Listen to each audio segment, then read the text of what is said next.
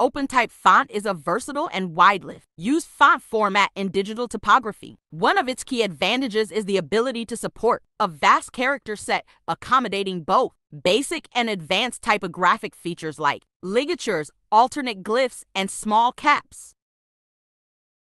With its rich typographic capabilities and broad language support, OpenType has become an indispensable tool for modern graphic design and publishing projects. I am giving below the sample of some OpenType fonts. You can download them and use them.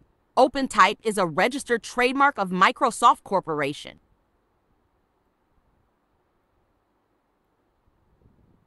If you like my video, please subscribe to our channel and press bell icon for latest updates.